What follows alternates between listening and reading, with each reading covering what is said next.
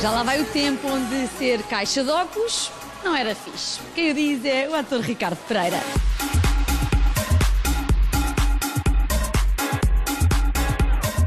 Ricardo, em alguma altura da tua vida foste um caixinha de óculos? Ah, boa!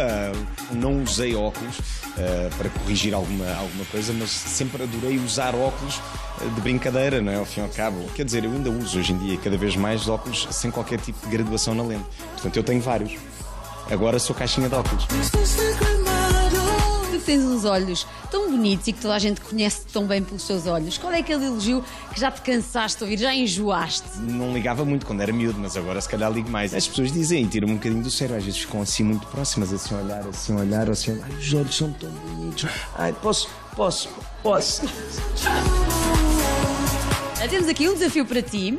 Tens que interpretar uma situação ou um mood com estes óculos que escolhemos. Queres o quê? Que eu faça uma personagem, tipo com os óculos? Aqui a situação pode ser praia, pode ser uma saída à noite. Aqui posso dar um ar mais intelectual, se quiseres. Quem sabe um escritor, quem sabe alguém que fala com alguma certa calma. Agora sou um, um miúdo novo, normal, que usa óculos, que se pode sentar em cima dos óculos, pode apertá-los, que eles não partem.